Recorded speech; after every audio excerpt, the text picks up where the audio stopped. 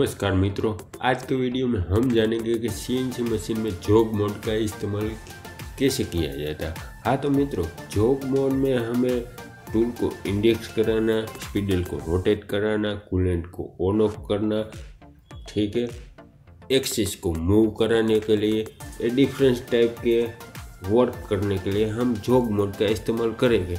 जैसे कि मान लीजिए हम यहाँ से जॉब मोड का सिलेक्ट करते हैं, ठीक है? यहाँ आपको दिखाई देगा कि हम अभी जॉब मोड में है, ठीक है?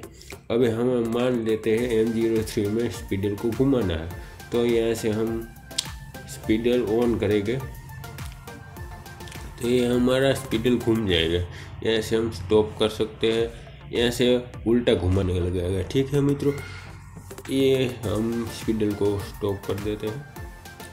फिर हमारे कूलेंट को ऑन करना हो, ठीक है? यहाँ से हम कूलेंट ऑन करेंगे तो हमारा कूलेंट यहाँ से चालू हो जाएगा। ठीक है मित्रों? यहाँ से हम कूलेंट बंद कर देंगे। टूल को इंडेक्स कराना हो, ठीक है? हमें एक, दो, तीन, आठ टूल दिए जाते हैं। इसमें से हमें कोई भी टूल इंडेक्स करा के लिया ना हो तो हम यहाँ से इंडेक्स कर सकते हैं टूल को। देखिए मित्रों, ठीक है? ये यहाँ आपको, ठीक है? फिर मित्रों टूल को हमें कहीं आगे पीछे मूव कराना हो, ठीक है? जब हम इंसर्ट बदलते हैं तो हमको टूल को आगे ले आने की ज़रूरत पड़ती है। या फिर नंग ऑफ़ साइड वगैरह लेने के लिए वर्क पीस के पास हमें टूल को ले जाना होता है।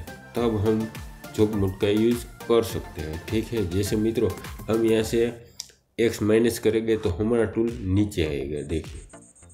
हम रैपिड का यूज़ करके स्पीड को तेज़ी से नीचे ला सकते हैं। देखिए मित्रों, अब हम जेड दबाएँगे तो हमारा टूल आगे चलेगा।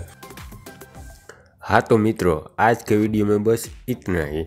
सी से जुड़े सेटिंग ऑपरेटिंग एंड प्रोग्रामिंग के रिलेटेड वीडियो देखने के लिए आज ही हमारे चैनल को सब्सक्राइब करें और वीडियो अच्छा लगे तो लाइक करें। धन्यवाद।